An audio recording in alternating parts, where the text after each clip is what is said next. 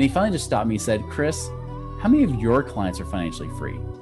Right? Like where they don't worry about money. I'm like, well, some of these retired physicians are watching CNN. So if you watch CNN, you're going to be worried about everything. So no, nobody's free because they're all scared.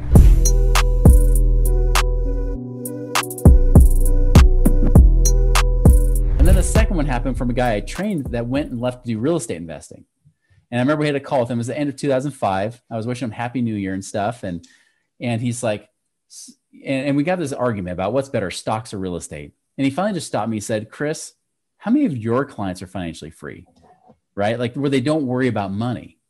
I'm like, well, some of these retired physicians are watching CNN. So if you watch CNN, you're going to be worried about everything. So no, nobody's free because they're all scared. He's like, well, good job. Way to go. How about this? How many of you guys as financial advisors are financially free, not off the not off the commissions you're earning, but actually doing these mutual funds, these investments? How many of them are financially free off these investments? I'm like, well, none. Maybe this one guy. And I found out he wasn't either later on. So none of them, none of us were financially free off these investments. Even guys that have been working since the 1970s as financial advisors, they weren't financially free. So why would we think this would actually work for anybody else? Mm. Right.